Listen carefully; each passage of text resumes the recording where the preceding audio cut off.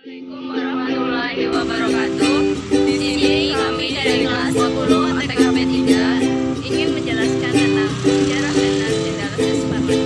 Sebelumnya, perkenalkan nama saya Yuliana Mulyadani, absen Nama saya Asia Nurus Malianti, absen 5. Nama saya Tania Aura Rahmadani, absen 34. atau S. Parman lahir di Wonosobo, Jawa Tengah pada tanggal 4 Agustus 1918 meninggal di Lubang Buaya Jakarta pada tanggal 1 Oktober 1965 pada umur ke-40 Jenderal S. Parman adalah pahlawan revolusi Indonesia dan tokoh militer Indonesia.